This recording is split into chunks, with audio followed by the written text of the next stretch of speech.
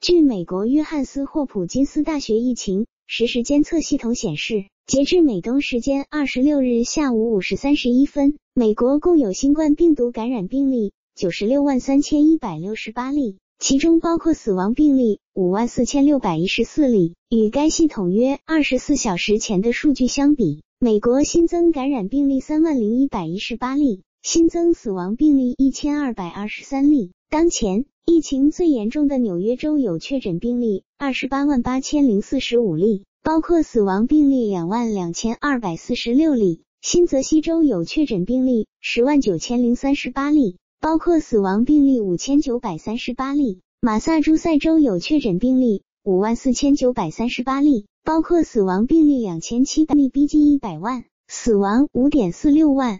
特朗普被舆论猛批，一千多个组织和个人签署联名信。敦促撤销停止资助世卫组织的决定，写给白宫的联名信，信中写道：在这样一场前所未有且极其复杂的公共卫生危机中，世卫组织的作用是至关重要的。美国乃至全世界的其他国家无法在没有世卫组织的情况下独立消灭这种病毒。世卫组织是唯一具有技术能力和全球授权的组织，在这一关键时期。支持所有国家的公共卫生应对工作。此时暂停向世卫组织提供资金，就像在火灾中切断消防员的供水一样。但白宫目前还未就此事给出回复。国际权威医学杂志《柳叶刀》主编理查德·霍顿二十五日发文：为什么特朗普关于“呼”的说法是错误的？文章中，霍顿详细梳理了世卫组织在疫情期间公开报告的时间线：二零一九年十二月三十一日。中国首次向世卫组织北京办事处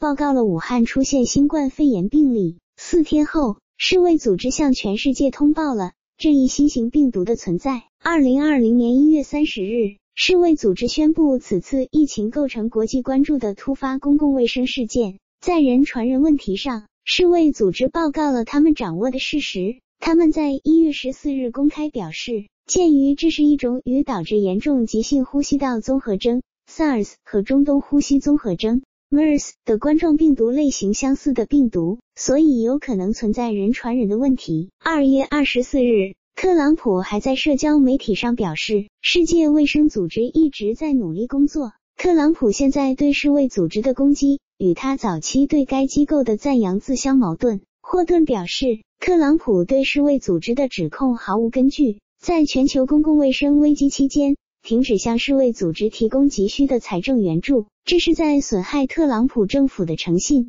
全球卫生安全体系需要世卫组织，也需要美国政府来支持世卫组织。特朗普的决定正在破坏一个以保护世界人民健康为福祉的机构，这是反人类的罪行，这是对全世界人民的不人道攻击。他应该立即恢复对世卫组织的资助。并向世卫组织提供全面的、无条件的支持。此外，世界卫生组织总干事谭德赛二十四日宣布，正式启动里程碑式的国际合作倡议，以加速新冠肺炎相关疫苗、诊断工具和治疗工具的研发、生产与公平分配。世界多国领导人与联合国共同启动这一倡议。联合国秘书长古特雷斯、欧盟委员会主席冯德莱恩。法国总统马克龙等参加了当天的视频会议，并发表讲话，支持通过国际合作加速有关应对新冠疫情的科技研发。但美国没有参与世卫组织发起的这项倡议。美国驻日内瓦代表团发言人早些时候表示，美国不会参加会议。